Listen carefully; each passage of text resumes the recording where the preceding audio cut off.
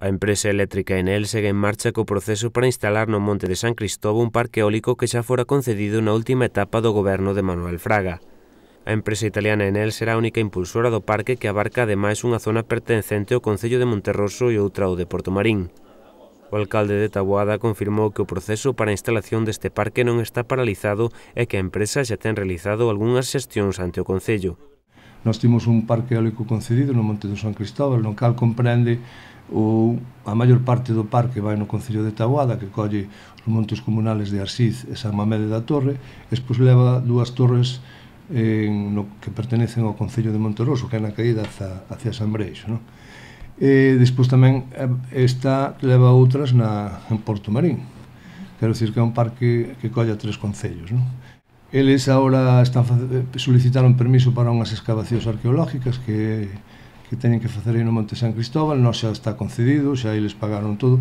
Eu polas noticias que teño a través da Consellería de, da Jefatura Territorial de Lugo, pois é que o parque en sí está en marcha, que están cos procesos todos seguidos, eles no momento que teñan as excavacións arqueológicas e patrimonio lles, lles de o permiso correspondente, sempre que non haiga claro ningún impedimento nesas excavacións, pois o proceso vai a seguir. O mandatario Taboder lembrou que, segundo ten confirmado co Conselleiro de Industria, a Xunta obligará a executar as concesións que están xa realizadas con anterioridade para este tipo de proxectos, xa que no caso contrario perderánse e levarase a cabo un novo concurso. Ramiro Moure confirmou que o proxecto está en marcha, aínda que se trata de procesos que adoitan avanzar con lentitude.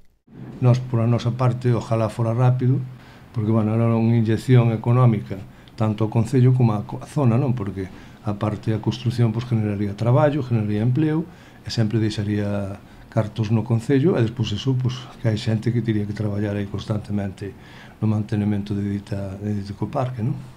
O parque ten previsto instalar 12 muiños de vento no monte de Taboada, dou na zona que corresponde a Monterroso e tres en Porto Marín. Cada un dos aeroxeneradores tenía unha potencia de 2 megavatios. Na zona de Taboada estaría previsto inicialmente instalar xeradores nas parroquias de San Mamede da Torre, Arxiz e Menxonfrío. Alo menos no caso da Torre de Arxiz, a empresa xa mantivo negociacións cos propietarios do monte pola cuestión do lugar anual.